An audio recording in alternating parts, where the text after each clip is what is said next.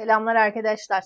Geçtiğimiz derslerde sıfat zarflarını görmüştük. O sıfat zarfları arasında yine kullanabileceğimiz şeyler ama daha çok da e, bana meslektaşlarım tabii ki kızabilirler. Hiç gerçi karşılaşmadım bu zamana kadar ama benim maksadım burada öğrencilerin işini kolaylaştırmak. Yani YDS'de hani İngilizce öğrenmiyoruz. Tabii ki öğreniyoruz ama tam bir İngilizce bilgisi edinmiyoruz aslında. Dolayısıyla işimizi kolaylaştıracak yöntemlere değinmek istiyorum.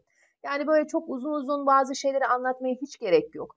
Ben normal derslerimde de bu şekilde ilerliyorum. Tabii ki normal derslerde daha biraz daha genişletiyoruz kapsamını. E, mantığını da kavratmaya çalışıyoruz öğrencilerimize. Ama burada size kısaca verebileceğim ipuçları arasında. Şimdi seçeneklerinizde kelime soruları için konuşuyorum. Seçeneklerinizde arkadaşlar önemli, büyük anlamına gelen bir sıfatınız ya da zarfınız varsa o seçeneğe yakın durun. Varsa yakın durun demişiz zaten. Çoğunlukla doğru cevap olur. Son e, YÖKDİ sınavında da çıktı bu karşımıza. Önemli, büyük ya da önemli ölçüde, büyük ölçüde anlamına gelen sıfatlarımıza ya da zarflarımıza yakın duruyoruz. Neler var mesela? Crucial, important, paramount, impressive. Önemli, büyük, etkileyici anlamını veriyor bize. Significant, significantly, considerable, considerably, remarkable, remarkably, substantial, substantially. Önemli, büyük ya da önemli ölçüde, büyük ölçüde. Dramatic, drastic, çarpıcı ya da dramatically, drastically, çarpıcı şekilde. Yani önemli ölçüde, büyük ölçüde diyor yine aynı şekilde bize. Enormous, enormously, tremendous, tremendously, massive, massively, immense, immensely, hugely, highly, heavily. Yine önemli ölçüde, büyük ölçüde anlamına gelen sıfat ve zarflarımız. Bu sıfat ve zarfları görüyorsanız o seçeneğe yakın durun. Hatta hiçbir şey bilemiyorsanız işaretleyin derim ben. Hemen örneklere bakalım. Şimdi seçeneklerde arkadaşlar bakınız sıfatlar var. Ben bu sıfatlardan prominent'ın önemli büyük olduğunu öğreneceğim. Çünkü önemli büyük anlamına gelen sıfatları zaten önemli sıfatlar arasında dahil ediyoruz biz ve mutlaka öğreniyoruz. Prominent doğru cevabımız olacak tabii ki. Previous nedir? Previous önceki, eski anlamını verir bize. Deceitful aldatıcı, reckless dik dikkatsiz, destructive yıkıcı, tahrip edici. Diyor ki asit yağmurları sadece 1980'lerde önemli bir çevresel mesele haline geldi. Burada mesela destructive'e gidenler olabilir ama mesele yıkıcı değildir. Asit yağmuru yıkıcı olabilir. Biz burada çevresel mesele diyoruz ya, önemli bir çevresel mesele haline geldi diyeceğiz. Ya da diğerinde seçeneklere bakın. Crucial'ı gördün mü? Yakın duracağım hatta bir nokta koyarım yanına yani bir işaretlerim ben onu. Avrupa Komisyonu karşı neye? Herhangi bir önemli değişikliğe mevcut banka uygulama, bankacılık uygulamalarında herhangi bir önemli değişikliğe karşı çıkıyor.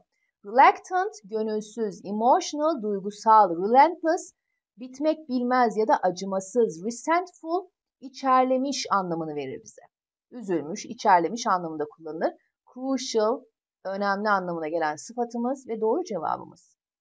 Diğer örnekte ancient states, eski devletler ve şehirler, eski uygarlıklar ve şehirler nasıl eski uygarlıklar? Etkileyici, önemli, büyük.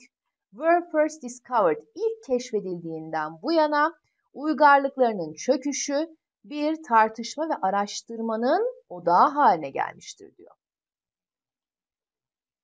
Yine bakınız seçeneklerde zarflar var. Önemli ölçüde, büyük ölçüde arttı diyeceğim dramatically. Yaşam beklentisi önemli ölçüde birçok gelişmiş ülkede önemli ölçüde çarpıcı şekilde arttı. Özellikle de Amerika'da diyor. Dramatically doğru cevabımız oluyor yine. Diğer örnekte yine considerably benim doğru cevabım. Considerably zarfı arkadaşlar bu considerably, significantly, remarkably, substantially aynı zamanda comparative'in başına gelen pekiştirme maksatlı kullanılan da bir zarftır. Ama zaten buradaki mesela comparative olmasa ben considerably zarfına zaten giderim. Körfez ülkelerindeki tüketiciler have considerably high real purchasing power. Daha yüksek, çok daha yüksek satın alma gücüne sahipler diyor. Considerably burada çok daha yüksek anlamını veriyor. Yani komparatifi pekiştirirken çok anlamını veriyor bu zarf bize. Diğerinde influence, etkiye sahip. Nasıl bir etkiye? Significant etkiye değil mi? Önemli bir etkiye sahip diyeceğiz. Significant, önemli yine doğru cevabımız oluyor. Diğerinde amounts of, miktar. Nasıl miktar? Önemli miktar. Significant amounts of diyoruz. Yine amount of, considerable amount of. Bunların tamamı bu arada çıkmış sorularımız arkadaşlar. Çıkmış sorulara dayanarak bunların taramasını yaptığımda ben özellikle hani önemli büyük anlamına gelen sıfatların ve zarfların çoğunlukla doğru cevap olduğunu gördüm. Gerçekten de hani cümleye oturttuğumuzda da karşılıyor zaten anlamını. Ya da bakınız part of human subsistence. Part, parça. Nasıl parçası? Nasıl unsuru? Substantial, önemli bir parçası. Önemli bir unsuru diyeceğiz tabii ki. Factor, faktör. Nasıl bir faktör, nasıl bir etken? Önemli bir etken. Crucial, yine doğru cevabımız olacak. Yani arkadaşlar seçeneklerinizde önemli, büyük anlamına gelen ya da önemli ölçüde, büyük ölçüde anlamına gelen bir sıfatınız, zarfınız varsa yakın durun. Oraya oturttuğunuzda, boşluğa oturttuğunuzda doğru olduğunda görürseniz tabii ki işaretleyin. Yani diğer sıfatlar arasında kalırsanız hiçbir başka ya da anlamlarını bilmiyorsunuz, oturtamadınız. En azından önemli, büyük anlamına gelen sıfatları bir öğrenin ve o sıfatları o boşluğa seçeneğinizde varsa koyun derim ben.